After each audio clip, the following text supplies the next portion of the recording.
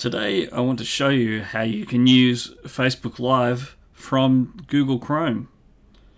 The easiest way is you can click on the posting area here, write a post, click on live video, and then it will display the camera, which is pretty cool.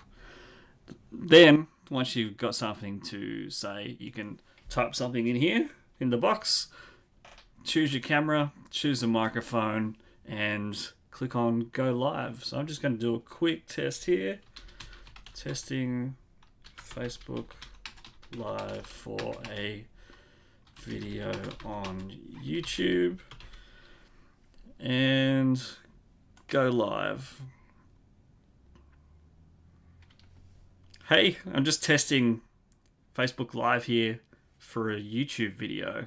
If you want to know how to go live from Google Chrome, I'll paste the link in the cap in the comments, and this is how we do it. Thanks for watching. And then when you're done, you can click finish. And that's how you go live from Facebook Live in Google Chrome.